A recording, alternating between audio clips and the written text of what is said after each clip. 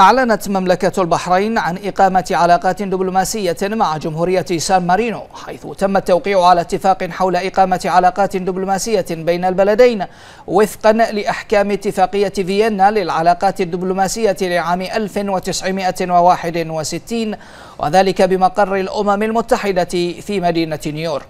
وكان معالي الشيخ خالد بن أحمد بن محمد آل خليفة وزير الخارجية. قد اجتمع مع معالي السيد نيكولا رينزي وزير الشؤون الخارجية والسياسية بجمهورية سان مارينو.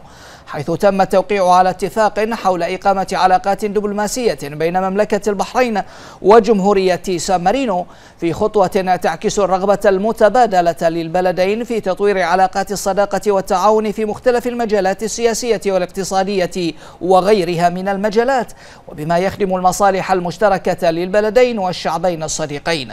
وقد أكد معالي الشيخ خالد بن أحمد بن محمد آل خليفة أن التوقيع على اتفاق إقامة علاقات دبلوماسية مع جمهورية سان مارينو من شأنه دفع علاقات التعاون المشترك بين البلدين لآفاق متطورة على جميع الأصعدة والإسهام في تعزيز التنسيق المتبادل حيال القضايا ذات الاهتمام المشترك.